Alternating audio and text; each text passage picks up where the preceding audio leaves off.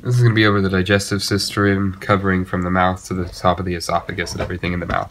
So the mouth can also be called the buccal cavity, and then as you move right inside, the vestibule, just like the nasal vestibule, at the top of the mouth, you have the hard palate, and as you move back up the, on the roof of the mouth, it turns into the soft palate, and then the little thing that hangs down is called the uvula.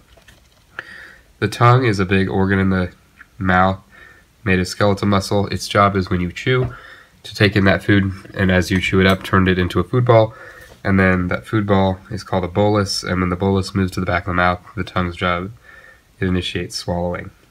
The tongue has three features that we need to know about. First is filiform, they're the white part of the tongue. They're scratchy, they don't have any taste receptors, they're just for friction, and cats have a lot of them, and they just help move around that bolus and get into the right position. Fungiform are red bumps, and they are very numerous as you go back in the tongue, and they do contain red bump or they do contain taste buds. And then this V thing is called the circumvallate, and it's just a V row, V-shaped row in the back, and they do have taste buds on the tongue. Next, I want to talk about the salivary glands. There are three of them: the parotid, submandibular, and the sublingual gland. There's two types of saliva that are produced. The parotid and submandibular gland produce serous saliva, which is more watery, and then the sublingual gland produces more mucousy saliva. So when your mouth is really sticky, that's coming from your sublingual gland. The parotid gland has a duct that releases saliva kind of around your second molar.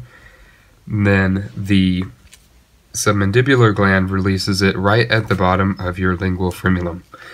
And so what a frenulum is is just a little, uh, kind of it looks like a wire, and it's a little stringy thing on the bottom of your tongue that kind of, that holds your tongue down to the roof of your mouth. You also have two frenulum on your mouth right here, and they just hold your lips to the gums.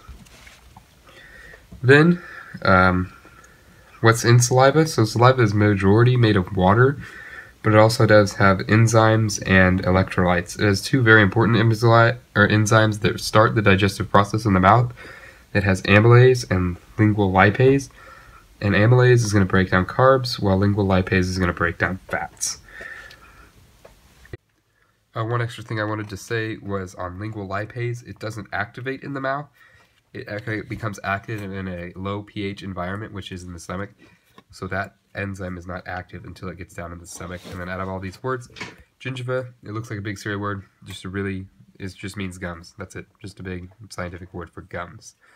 So gingiva, gums, hard palate, once again, top of the roof of your mouth, tongue, big skeletal muscle thing, parotid gland, releases serous saliva, that's watery saliva, soft palate, top of the mouth, the back, uvula, the little thing that hangs down, lingual frenulum, little thing that holds your tongue to the gums, submandibular gland, once again a serous gland, so